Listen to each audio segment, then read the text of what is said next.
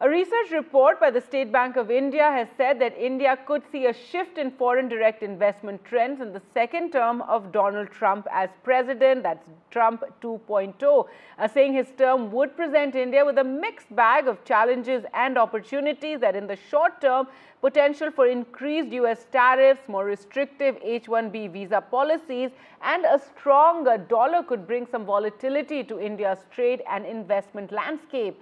However, in the long term, these challenges might also encourage India to expand its manufacturing capabilities, uh, diversify export markets and focus on becoming economically more self-reliant. So in the long term, uh, the Trump presidency uh, could be good news for India, though the Indian IT sector may see higher costs if work visas are limited.